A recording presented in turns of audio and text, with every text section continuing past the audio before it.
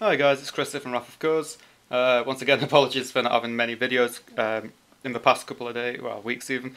Uh, I've just had quite a lot to do. I've been finishing off WAE uh, Part 2, which is uh, really coming along now, so I've got some nice updates of that. And in this video as well, I want to explain, basically, I don't think I've ever done a video on this, but the differences between uh, GVE and WAE, as well as a little bit of history for each one. So it's more so like a history lesson, but you know, um, also providing quite a bit of information uh, and whatnot for um, Wrath of Cores. Okay, so first off, uh, regarding the WAE updates, um, all the cards have finally been completed. There's 197 cards, I believe. Um, in this set, I'll have a very quick ganders now. Uh, yes, 197. However, the final card, uh, card number 197, is going to be a promo card, which I will be explaining a bit later on uh, towards the end of the video. Um, so yeah, I have purchased my uh, proof, like pre-proof um, version of the Game Crafter, and it's cost me a fair bit of money. You know, it's come to 100 about 153 dollars or something like that. However, I have ordered a booster box and the new theme set, uh, theme deck, what is to be released finally when I eventually get hold of them. Uh, so the good thing about getting the booster box is that the cards will be available to buy in the UK for all my UK based fans, which is really useful because Ellumacent Souls does the same thing. He sell, he buys from the US and then sells to the UK. Um, and when I used that feature, you know, it was a massive, it's really reliable and really beneficial for me, the player. So I'm going to try and do something very similar. However, it's going to be based on just standard boosters and not theme decks. That's why I'm buying the booster box at the um, manufacturer's rates. So, uh, yeah, that is basically the main thing about WA2. It is coming, it is very close. I've got, I'm, I'm basically waiting on the Game Crafter, and that's it. So, uh, yeah, the whole point of this video, moving on. Um, so yeah, the differences between GVE and WAE. So I'm going to start with GVE. GVE was when I, it, it's basically the very first set what came out for Wrath of. There's two main sets, GVE and WAE. Uh, GVE basically used, well, it stood for good versus evil. It's when, you know, when the very first set uh, homemade CCG comes out, you kind of think of the basics for set one. So I, I thought something, you know, light versus dark, good versus evil, etc., etc. So GVE uh, was released in 2016, which is really hard to believe because it's getting on for three years old now, and I really can't believe that. Um, it the first half came with about 100 cards. I usually try and aim for 100 cards in half of a set. Um, and of course, GVE came in two halves. So the second half, uh, sorry, before moving on to the second half, the first half actually came with two theme decks, like two starter decks for people to buy and um, that was the um, deck of darkness and the deck of honor. So you can kind of see where the whole good versus evil type theme fits in here. You know, we've got a light deck and a dark deck, or a good deck and a dark deck, etc. And um, and those decks proved to be quite popular, especially the deck of honor. You know, it turned out to be quite a tanky deck, but everybody seemed to love playing it. Uh, and of course, we had the main characters in GVE Part 1, which were Raynos and Kira, as well as um, Alto. Now, so that's like the goodies and the baddies kind of thing. So GVE2 came out in 2017, almost a year later, and that brought with it another 85, 90 cards or something like that, as well as its own theme deck, which was the Deck of the Wild, which was a green-based deck and basically there's a bit of a story between it. The um, not the whole Mother Nature type thing really, really didn't appreciate you know light and dark fighting it off on her domain every so often. So then she started creating these um, you know her own force to basically fend off the other two decks. Alongside with the theme deck was the release of the Mage Sisters, and they turn out to be um, Kira's younger sisters. So don't forget Kira is daughter to uh, Raynos. And not much is actually said about the wife of Raynos, however, if you read the little bit of a novel type thing I released a few months ago, you'll see what happens with that. Then, Alto, uh, was knocking about, and the Mage Sisters found out that Alto was a really bad person, or a bad thing.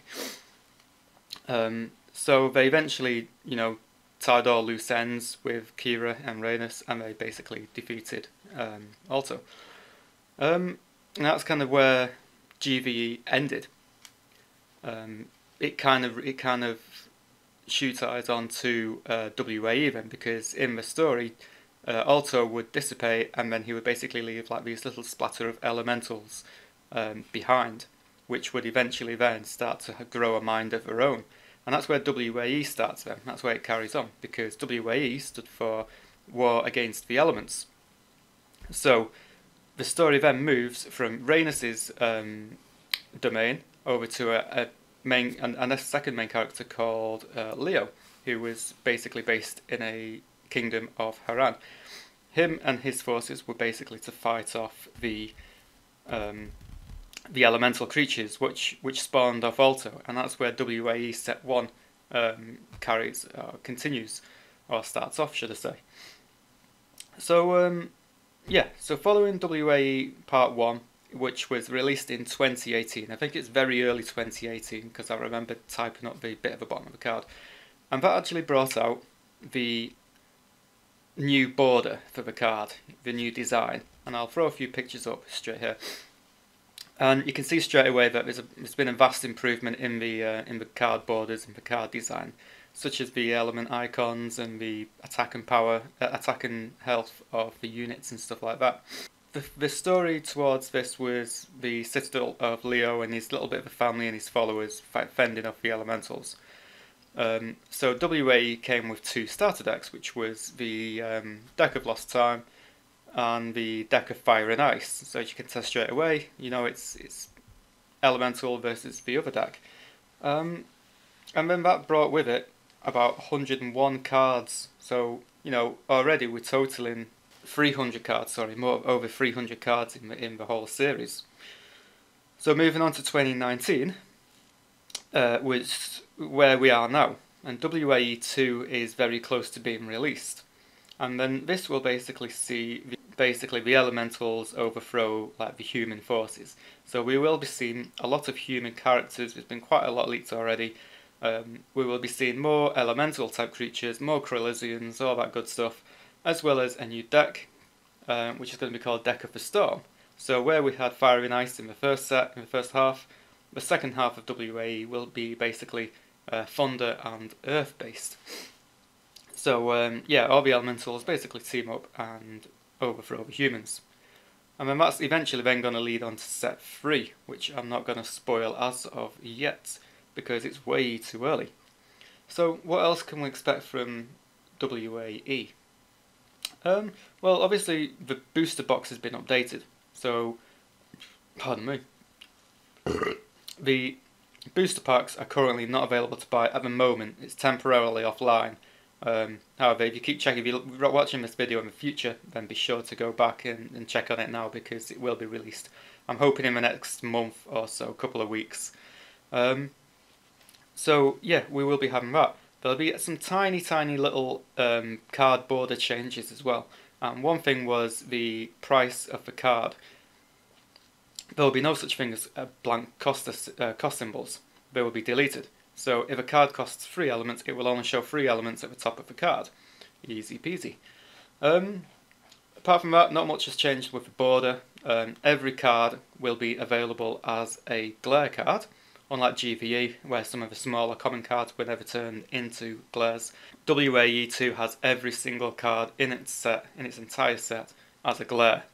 Um, so, talking about glares and everything now, we will um, move on to the next item, and that is a product called the Golden Booster Pack.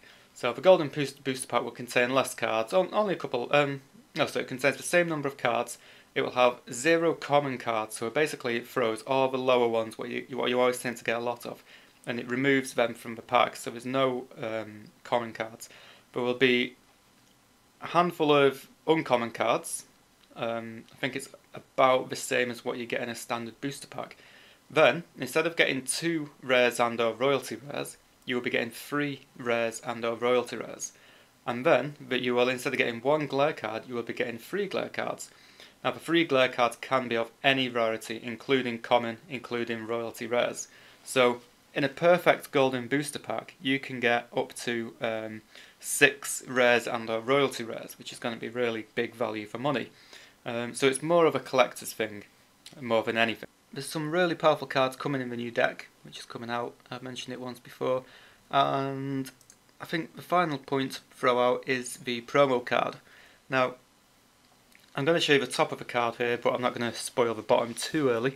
It's going to be um, these promo cards, basically going to be pretty powerful, and the rarity symbol will also be coloured green regardless of its rarity. So if it's a common, it'll still be green. If it's an uncommon, it'll be green. If it's a rare, it'll be green, etc., etc. Usually, commons, uncommons, and rares and all that are different colours. So you cannot find these in any packs on the Gamecraft. They're going to be super, super hard to find. Um, the only way you can get these is by going to like events and stuff like that. So if we ever host an event in the future, I think Ellumacent Souls was going on going on about something uh, a couple of months back because he was going to set up his own stall. Um, I'm going to be going to MCM Comic Con in Manchester this year, so I'll be taking a few of them with me. So, you know, if you ever see me at places like that, just give me a shout. I'll be carrying a few, and um, basically that's going to be the only way where you can get these promo cards. They're going to be really hard to find, um, but they are going to be super powerful, and obviously, you know, you're going to have the glory of owning one of these cards as well. Cool thing is, it's also available in a glare, which is going to make it, you know, even more rarer. Um, um, so yeah, that's basically um, how we're set with Wrath of Cores at the current moment in time. So you've got GVE split into two halves, and WAE split into two halves, and the second half of WAE is going to be released very, very shortly. Uh, like I said, I'm just waiting on the Game Crafter.